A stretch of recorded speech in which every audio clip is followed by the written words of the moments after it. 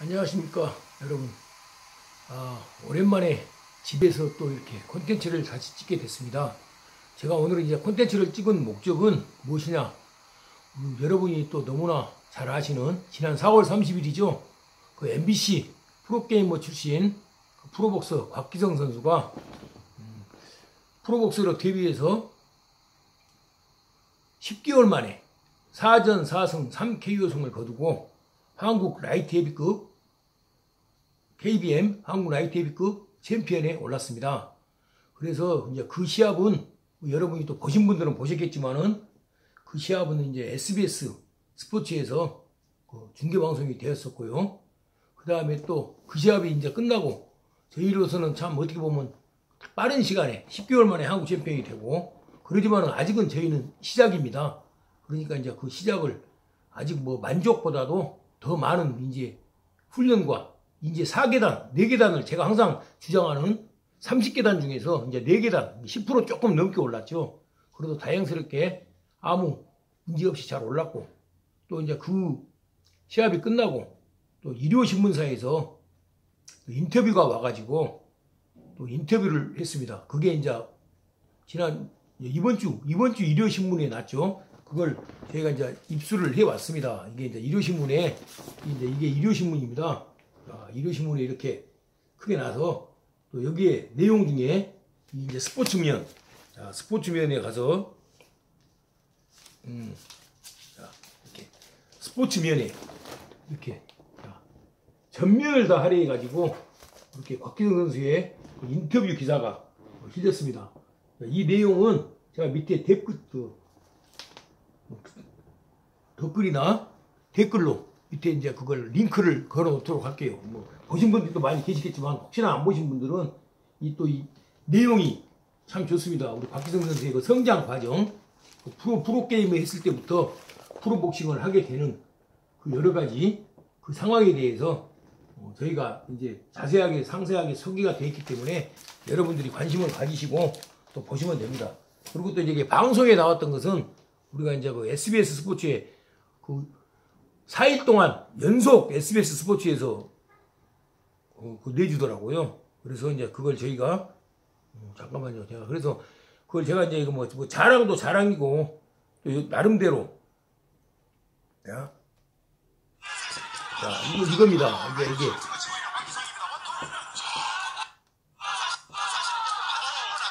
음, 자.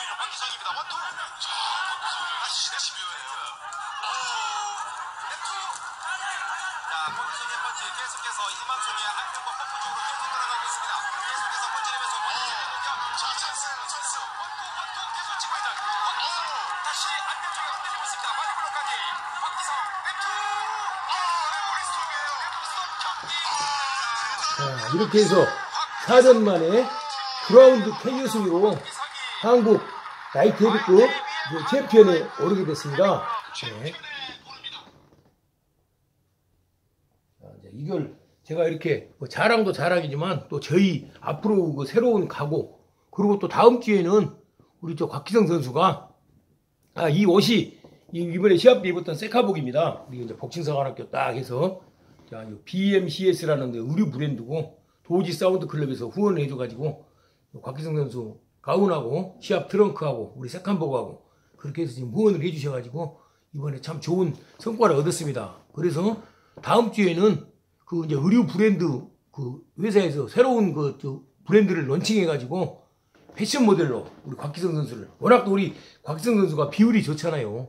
191cm에 79kg 그것도 이게 이 비율 자체가 좋기 때문에 아마 패션 모델로도 아마 지금 계획이 되어 있습니다.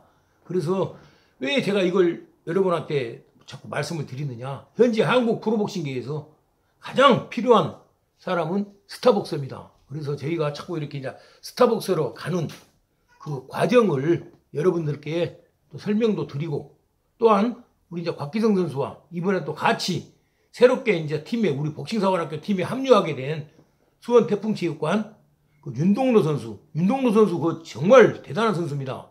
우리 이제 곽기성 선수하고 스파링도 많이 하면서 이번에 곽기성 선수가 챔피언이 되는데 크게 일조한 선수죠. 그래서 그 수원 태풍의 최록환 관장님하고 또 같이 의기투합해서 우리 곽, 저 윤덕노 선수가 현재 지금 KBM 또 KBF 슈퍼 미들급 통합 챔피언입니다.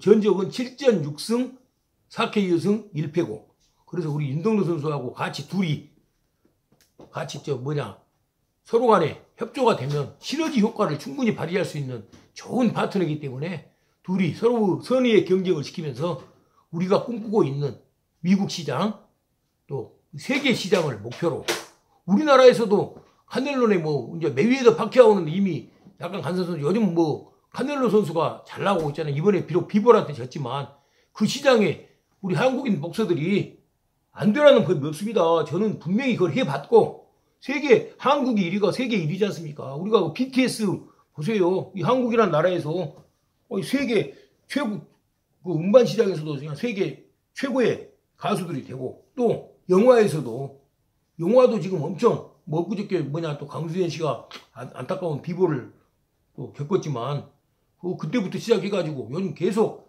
뭐 한국에 있는 뭐 진짜 뭐 미나리라든지 뭐 또 오징어 게임 그러듯이 한국 프로복싱에서도 충분하게 할 수 있습니다.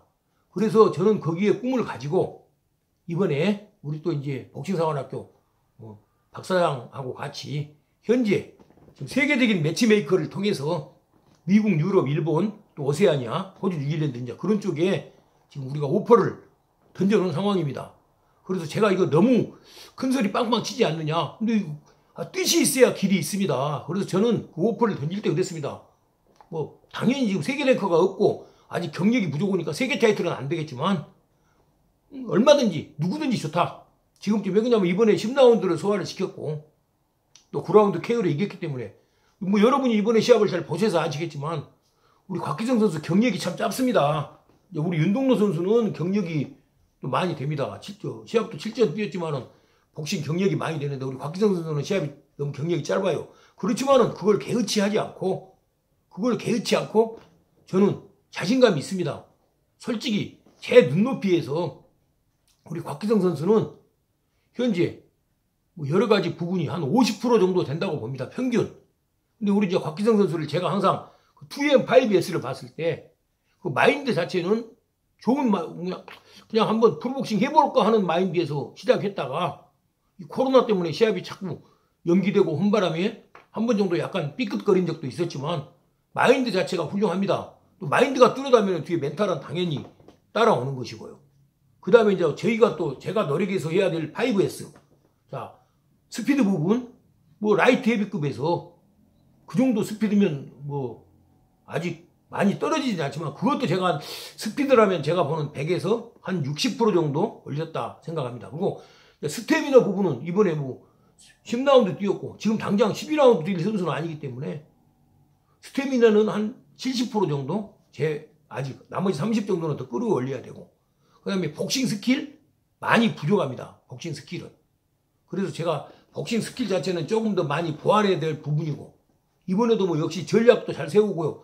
뭐 전술을 했지만은 많이 헛손질도 많고 여러분들이 보기에 뭐 무슨 지적들을 많이 하시잖아요. 뭐 가드 문제 뭐 여러 가지 부분 그거 여러 가지 아니라 스킬이 있기 때문에 스킬 부분도 제가 한 50% 정도 보고 있고요. 그 다음에 그 다음에 센스 복싱 센스는 복싱 센스 없는 사람들은 이 정도 한국 챔피언 못합니다.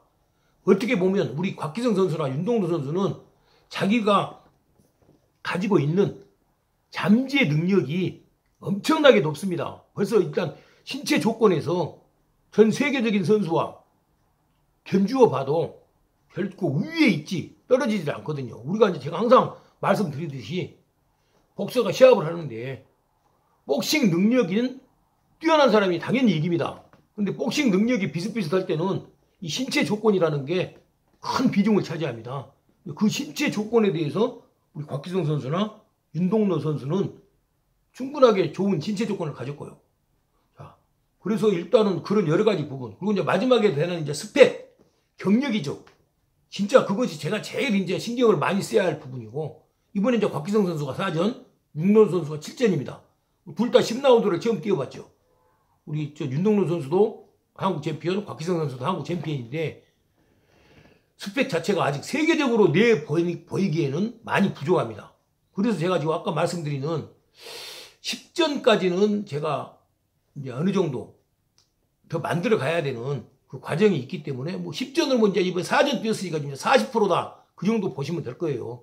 우리 윤동로 선수는 7전인데 솔직히 좀 너무 인터벌 틈이 길어가지고 그래서 우리 뭐 윤동로 선수도 역시 스펙 자체는 뭐 한 50%, 40%, 50% 정도인데 그걸 빠른 시간에 뭐 무조건 고 오래 하고 많이 해봤다고 잘한 거 아닙니다. 저는 그런 경험이 충분하게 많기 때문에 그 부분을 제가 충분하게 더 감안시켜서 일단은 그래서 지금 이제 오퍼는 해외로 원정으로 던져는 놨는데 또 앞으로 일은 아무도 몰라요. 또 한국에서 더 좋은 시합이 자꾸 이렇게 스펙을 쌓게 되는 그런 경력이 그런 경력을 쌓는 그 부분이 중요하지만 그것에 개의치 않고 뭐 당장이라도 오퍼 와서 미국이든 유럽이든 뭐 오세아니아든 또 일단 일본은 뭐 그렇게 중량급 라이트 헤비급이 그런 게 없지만은 어느 나라 세계 어느 곳이든 부딪혀서 갈 겁니다.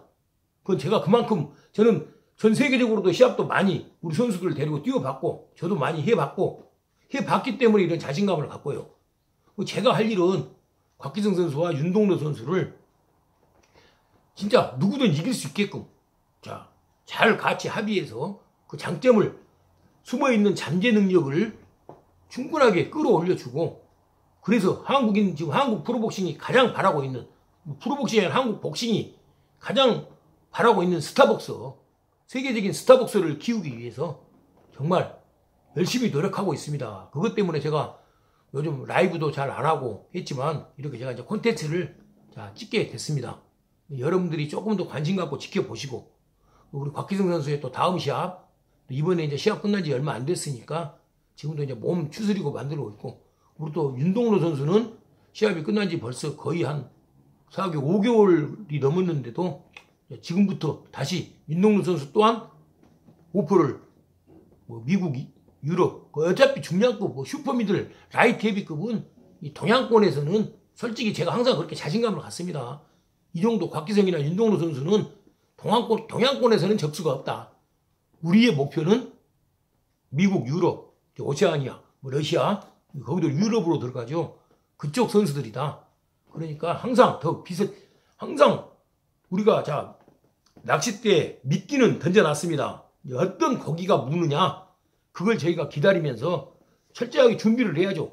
진짜 바다에다가 던져놨으니까 뭐 상어가 물릴지 고기가 고래가 물릴지 참치가 물릴지 그 고래가 물려도 그냥 낚아챌 수 있는 그런 저희가 마음 준비를 철저히 하고 그리고 뭐 여기서 또 말씀을 드리지만 저는 현재 지금 자꾸 그런 질문들을 많이 하는데 수원 태풍체육관에서 그 최락한 관장님하고 같이 우리 collaboration collaboration을 만들어서 열심히 운동하고 있습니다. 그리고 이제 우리 곽기성 선수와 윤덕노 선수가 둘이 서로 시너지를 받고 둘이 가서 파트너 좋은 멋진 파트너십으로 해서 세계적인 선수를 꿈꾸기 꿈꾸고 바라고 진짜 한국인 한국 복싱인이라면 누구나 바라는 세계적인 스타복서를 꿈꾸고 열심히 노력하고 있습니다. 그러니까 좀 더 지켜보시고 더 관심 가지시고 힘찬 응원을 부탁드리겠습니다. 자, 감사합니다.